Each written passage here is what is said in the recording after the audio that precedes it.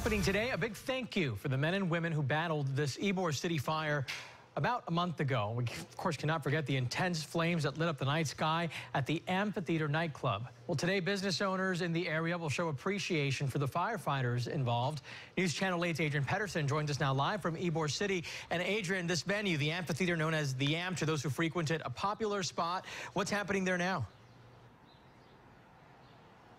Good morning, Gene. Well, it's still boarded up, obviously closed for business. We're not sure exactly when it will reopen. Now, that being said, everybody on this block agrees it could have been so much worse. Let's take a look at the video from that scary night.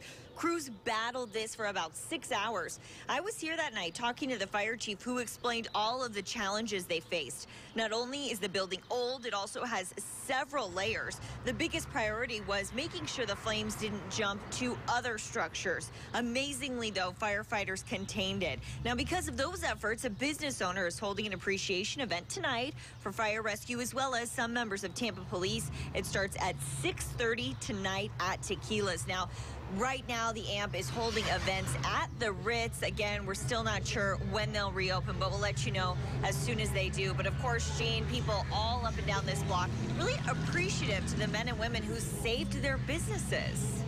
I bet. Well deserved uh, thank you to those firefighters, Adrian. Thanks.